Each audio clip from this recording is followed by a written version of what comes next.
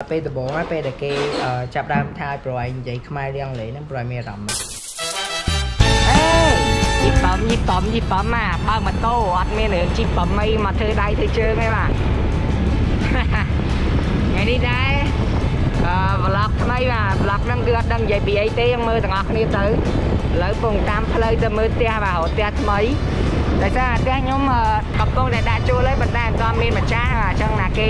ចាប់អារម្មណ៍អីអាចឆែករូបភាពហ្នឹងមើលទៅអេច្រឡំហៅវាទៅមកទៅហើយបើសិនអ្នកនរគ្នាមានចំណាប់អារម្មណ៍អាចទេទៅលេខដែលបានដាក់នៅលើហ្នឹងទៅហ្នឹងហើយបើសិនជាម៉ាក់ប៉ាអ្នកចាប់អារម្មណ៍ឬក៏បងប្អូនអ្នកចាប់អារម្មណ៍អីណាហ្នឹងហើយយ៉ា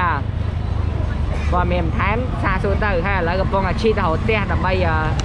ទិញផ្ទះថ្មីនៅមួយដេបារ៉ាបាទ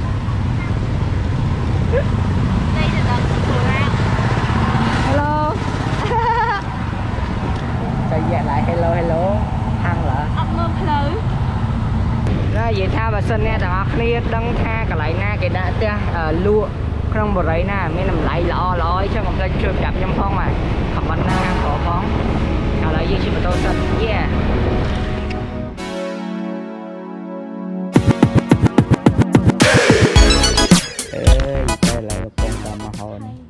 សិតតបានមកទៅទីខាងជើងទាំងអស់ ừ ai bữa sau ban ở tại còn lại bên kia con tinh mới là con tinh mới nè đây អ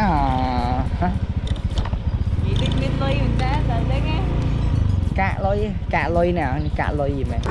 អូខេណាគ្នាឥឡូវខ្ញុំឃ្លានពេកខ្ញុំមកហើយញ៉ាំអីនៅកន្លែង sister ខ្ញុំបន្តិចសិនចាំយើងបន្តដំណើររបស់យើងទៀតនិយាយទៅដេតទៀតហើយណាគ្នាដេតទៀតហើយ ឃ្លានបាយខ្លាំងមែនតើនិយាយទៅតើបកកដល់ឃ្លានខ្លាំងមិនញ៉ាំហ្នឹងហើយចាំជិះចាំអូខេ ok ទាំងអស់គ្នាឥឡូវហ្នឹងជួបជាមួយខ្ញុំដេកតារាឥឡូវ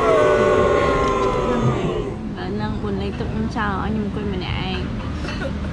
alone see that I because he was pooping តែលើមកវិញតែចាប់ដើមនិយាយសោះមក បាទសៀងមើលយេធ្វើមុខមុខពេលបានញ៉ាំថាម៉េចមុខពេលបានញ៉ាំពេលបានខ្ញុំញ៉ាំមុនណានំចុកចុកអានំចុកនេះអុយបងញ័រដៃហ្នឹងនេះឃ្លានពេកហ៎អោ nó ôm cọc ơi ខានយូដកសាំម្ទេសអោត chẳng thực bàn មើលបងអត់មានធ្វើបាបអូនឡង ôm sờ lại này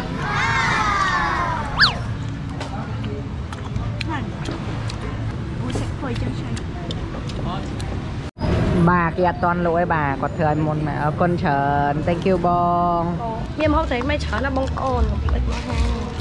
ហ្នឹងហើយកុំភ្លេចជប់ឃ្លានជប់ឃ្លានអីយ៉ា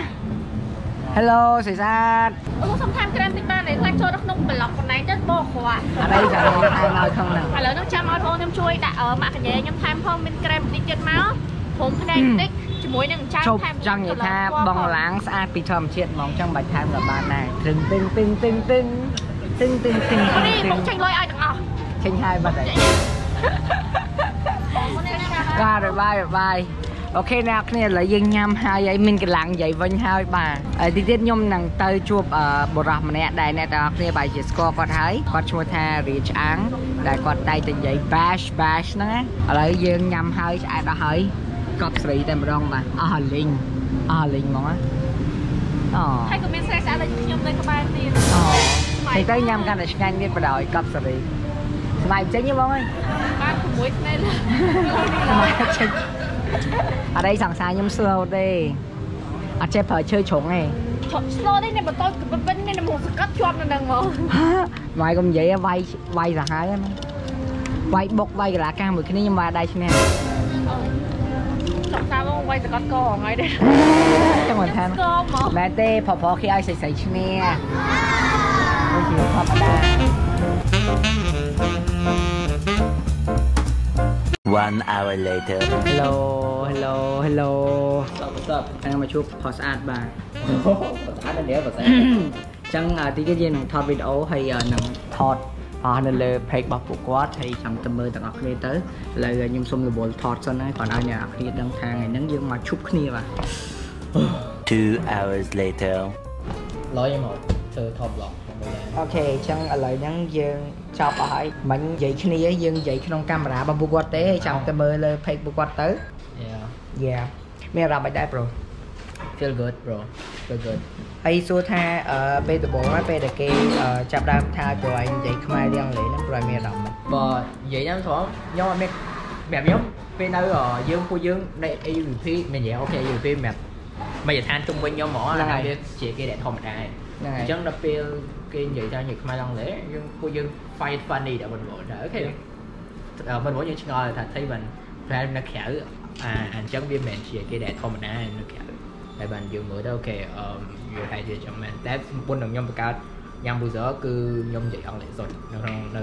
UP យើងនិយាយអង់គ្លេសសុទ្ធអូខេតាមតែចាប់ផ្ដើមយ៉ាំ boozer ឲ្យបានយើងចាប់ផ្ដើមនិយាយខ្មែរចាប់ផ្ដើមនិយាយខ្មែរមកវិញចុះខ្ញុំសួរមួយអឺពេល bro ឯងអឺនិយាយខ្មែរលាយអង់គ្លេសអញ្ចឹងណាមានអារម្មណ៍ថាខុសឆ្គងអីអត់ខុសឆ្គងនិយាយថាខុសឆ្គងចំពោះខ្លួនឯង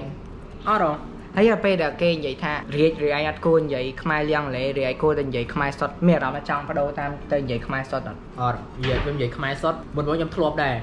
អឺ content ណាយើងវាមានថត content ដែលធ្លាប់និយាយខ្មែរសុទ្ធតែដល់ពេលយើងពាក្យខ្លះយើងបកទៅជាអង់គ្លេសវិញដូចដូចជាពាក្យ obedience បកអង់បកមកបកមកខ្មែរបកមកខ្មែរនិយាយមើលតាមគាត់ស្ដាប់បង្គាប់ស្ដាប់បង្គាប់ obedience យើងយើងស្ដាប់បង្គាប់យើងយើងស្ដាប់មកយើងយើងយើងឆ្កងពេលយើងធ្វើ content អញ្ចឹងពាក្យខ្លះ យើងនិយាយអង់គ្លេសតែយើងនិយាយខ្មែរទៅ clear ឬក៏ Yeah. បងឡៃបកអត់ធ្វើខ្ញុំយល់ខ្ញុំយល់ខ្ញុំយល់ពីអារម្មណ៍ហ្នឹងពេលខ្លះយើងប្រើពាក្យអង់គ្លេសមែនប៉ុន្តែសំខាន់អ្នកដែលយើងនិយាយជាមួយហ្នឹងគេយល់ពីអីដែលយើងនិយាយ Yeah. អ្នកខ្លះគ្រាន់តែឃើញយើងនិយាយចឹងថាយើងចូលហេតុអីបាននេះហេតុបាននិយាយចឹងខ្ញុំចាំពេលយើង scam មកអាមហឹកហ្នឹងដំបងដំបងយើងចេញវីដេអូដំបងដំបងហ្នឹងហើយគេ record ហ្នឹងដូចថាខ្ញុំមើលទៅពីច្រើនអ្នកដែលអត់ពេញចិត្ត code switching ហ្នឹងពីច្រើនមានតែពីរឯទី1ក៏អត់ចេះអង់គ្លេសទី2 យើងចេញមកនិយាយអីដែលក៏អត់ហ៊ាននិយាយមានតែប៉ុណ្្នឹងយើងនិយាយយ៉ាងអត់អីអត់អត់សំខាន់ទេថាអត់ចង់លេព្រោះយើងមាន audience យើងដែលអត់ទៅចង់លេដែរដែលពេលគាត់មើលហើយបើយើងដាក់ translation ទៅគាត់អរគុណយើងទៀតថាអូខេដោយសារហ្នឹងហើយដោយសារយើងនិយាយចឹងហ្នឹងហើយចេះគាត់ពាចេះក្យពាក្យបានថ្មីៗច្រើនតែអ្នកខ្លះទៀត គាត់អត់ចឹងទេគាត់ទោះបីយើងដាក់ពាក្យមិនគាត់និយាយថាអូអត់យ៉ាងអត់យ៉ាងមិនអត់យ៉ាងលេចឹងមិនអត់អីចឹងនិយាយទៅវាវាតែតែមាន2រហូតពេលយើងមើលឃើញចំណុចល្អយើងតែតែទាញតែផលប្រយោជន៍ល្អល្អឯងតែពេលដែលយើងជាមនុស្សដែលមើលឃើញអ្វីអ្វីគ្រប់យ៉ាងជាអវិជ្ជមានណាទោះបីរឿងហ្នឹងល្អក៏យើងអត់អាចទាញប្រយោជន៍ល្អពីវាបានដែរយើងតែតែទាញប្រយោជន៍ទៅអវិជ្ជមានដាក់ចូលខ្លួនឯងប្រការការដំបងប្រៃនៅមួយគាត់ដែរថាពេលយ៉ាង process ចេញដំបងណាយ៉ាពេលចឹងពេលឥឡូវពេលពេលដែលពេលដែលគេនិយាយថាអីពួកគាត់ហ្នឹងធ្វើតែវីដេអូ content តែខ្មែរ លៀងអង់គ្លេសអត់ព្រមនិយាយខ្មែរសុទ្ធតើពេលហ្នឹងមានអារម្មណ៍មិនឲ្យចង់ដូរមកនិយាយខ្មែរវិញអត់យ៉ាកាប់ពិតមុនដំបងខ្ញុំពេលមុនចេញវីដេអូហ្នឹងពួកខ្ញុំនិយាយគ្នាហើយខ្ញុំប្រាប់ថាឥឡូវយើងនិយាយខ្មែរសុទ្ធទៅកុំឲ្យគេគេនេះអញ្ចឹងណាតាំងតាំងពីមុនគេ bash មែនអត់អឺពេលហើយអឺក៏យ៉ាមតិវាច្រើនថាអត់អីក៏សម្រាប់តែធ្វើអញ្ចឹងតទៀតទៅហើយក៏ធំចឹងមករហូតមកតែគ្រាន់ថាដល់ពេលមួយរយៈក្រោយបានប្រហែលជាប្រហែលមុន មុនដំបូងហ្នឹងខ្ញុំខ្ញុំផ្អាកពីយ៉ាង user សិនហើយបានឥឡូវខ្ញុំចូលមកវិញ ខ្ញុំគិតថានិយាយខ្មែរលីអង់គ្លេសវាដូចអត់មានអីដោយសារពាក្យពេលខ្លះពាក្យបច្ចេកទេសខ្លះគួរតែអង់គ្លេសណាមួយ เป็นពាក្យយ៉ាងអូខេពាក្យបច្ចេកទេសនិយាយតែពាក្យខ្លះពាក្យខ្លះវាយើងពេលពេលខ្លះ instinct ហ៎អាដូចថាមកផ្លែផ្លែយើងនឹកឃើញអង់គ្លេសនេះមកហ្មងយើងនឹកឃើញអង់គ្លេសហ្មងដូចថាអឺបើថាមានរឿងអីថាផ្សាយមា នមកអញ្ចឹងខ្ញុំខ្ញុំភ្ញាក់យ៉ាងនេះបាទ shit reflection reflection យកការយើងនឹក reflect នឹកឃើញថាអូអូរហនិយាយ shit តែគាត់អូអជុំនិយាយវាវាអត់ហ្នឹងហើយយើងខ្ញុំយល់ខ្ញុំយល់ខ្ញុំយល់សង្កត់ថាអ្នកនរគ្នាបើកចិត្តទៅទៅបីសំខាន់យើងយល់បើមិនយើងអត់យល់យើងឲ្យគេជួយបកប្រែយើងទៅបានហើយខ្ញុំមិនទៅជន់ឆ្លីធ្វើឲ្យគេឈឺចិត្តដោយសារយើងធ្វើឲ្យថាអូខេយើងយើងត្រូវចាំថាភាសាវាដើររហូតហើយ វាមិនមិនជាប្រទេសមួយដែលស្ថិតនៅក្នុងក្លុកអត់មានអឺជាអឺគេហៅថា diplomatic relation ណាទំនាក់ទំនងការទូតជាមួយនឹងប្រទេសមួយទៀតទេអញ្ចឹងប្រទេសណាកាកាលណាប្រទេសពីរដើរមួយគ្នាវប្បធម៌អរិយធម៌ឬក៏អឺភាសាអីហ្នឹងវាចាប់ផ្ដើមដើរមួយគ្នាហើយអញ្ចឹងពេលដែលយើងចង់ទំនាក់ទំនងឬក៏យើងចង់មានអឺអាចទទួលប្រយោជន៍ពីគ្នាទៅវិញទៅមកលុះត្រាតែយើងទៅរៀនភាសាគេយើងត្រូវយល់ពីគេយើងមិនមែនគ្រប់យ៉ាងយើងត្រូវតែមាន translator ឯង translator ពេលខ្លះគឺខុសទៀត ចឹងតើយើងមានអាវិធីអស់ហ្នឹងមានថាយើងត្រូវរៀនពីភាសាគេហើយទើបយើងអាចទំនាក់ទំនងហើយយើងមានទូរ smartphone មួយយើងអាចទំនាក់ទំនងរហូតដល់រាប់ម៉ឺនគីឡូម៉ែត្រគឺបានទាំងអស់យកយេអញ្ចឹងមិនថាអឺពិភពលោកឥឡូវយើងចាប់ផ្ដើមជឿនលឿនទៅហើយយើងមិនមែនទៅសេសម្បត្តិឬក៏ផ្ញើតាមព្រៀបនាំសារទេទេចឹងយើងក៏យើងយើងយើងក៏គួរតែបើកចិត្តឲ្យទលេដើម្បីទទួលយកឲ្យដែលថ្មីថ្មីយើងអូខេឥឡូវយើងមកនិយាយច្រើននេះអឺសំខាន់ណាស់អ្នកនេះចង់ដឹងថាយើង interview ពីគេកុំភ្លេចទៅមើលវីដេអូរបស់ពួកគាត់ទៅបានហើយ Yeah and thank you bro ដែលចូលមកមួយ Yeah yeah អរគុណអរគុណអរគុណដូចគ្នា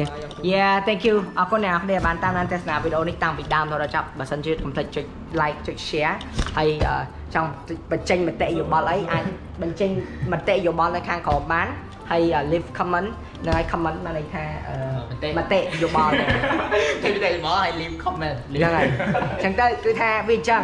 ហើយសំខាន់បំផុតហ្នឹងគឺថាអឺបង្ហាញនៅគំនិតអ្នកទាំងអស់គ្នាគិតយ៉ាងណារិះគន់ដើម្បីការស្ថាបនាមិនមែនជាការជេរឬក៏